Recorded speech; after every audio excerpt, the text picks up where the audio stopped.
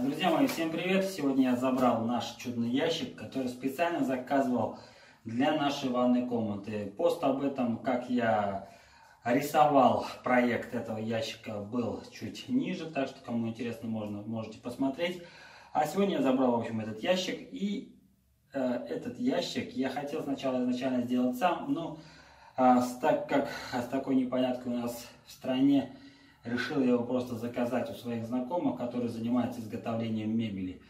А кухни, там, шкафы, купе, все вот в этом роде. В общем, ссылка на них будет в описании. Кому интересно, заходите, смотрите. А, в общем, этот ящик сегодня я буду монтировать в нишу, специально, которая сделана для этого ящика. Так, специально для ящика сделал вот такие вот а, импровизированные опоры. На эти опоры он должен будет лечь. Основная часть у него ляжет на стену, и все остальное, в общем, должно будет расположиться на, этом, на этих профилях. Ящик он не тяжелый, я думаю, в будущем он никуда не денется. Ну, еще потом я закреплю а, к стеночкам бока, чтобы дополнительно сделать усиление, потому что здесь у меня будут три петли, и на этих петлях еще будет висеть у меня дверь а на этой двери будет еще висеть зеркало. Ну, в общем, интересный проект, об этом я буду рассказывать по ходу, либо просто сделаю отдельное видео про этот ящик. Ну, кстати, я и планирую сделать про этот ящик видео. А кому интересно, обязательно заходите на мой YouTube канал, это все будет там. Не забывайте подписываться, ставить лайки и писать в комментариях ваше мнение о моей работе. Ну, пока у меня все. Так что давайте смотрим, что будет дальше. Поехали.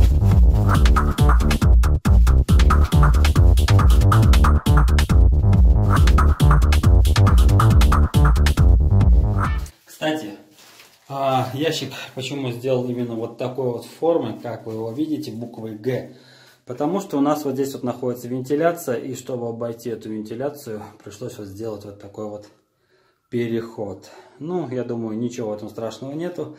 Мы не потеряли, потому что если взять обычные стандартные ящики, которые у нас идут зеркалами, то они примерно вот такого размера, даже быть может меньше.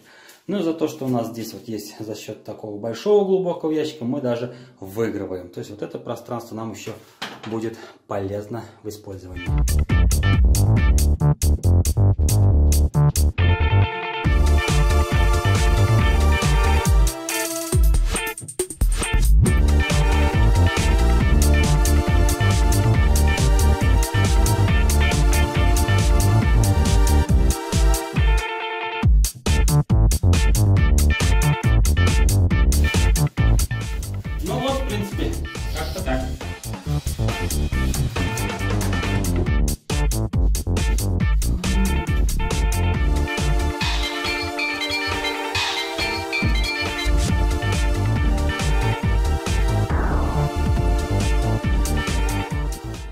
Так, вот, в общем, наша дверка, за которой у нас спрятался ящик.